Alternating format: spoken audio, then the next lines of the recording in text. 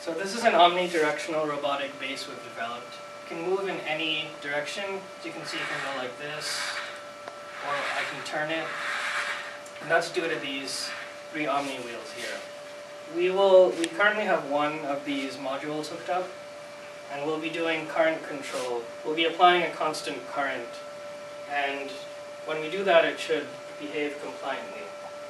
So if I can apply a small current here. And you can see it's now a bit easier to move and we can back drive it. And if I increase that,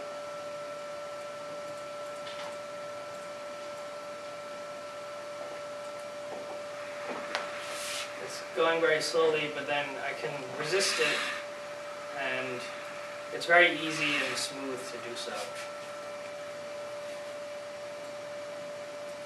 We're increasing a lot now, so it's much faster, but it still behaves like this spring. Okay. Stop.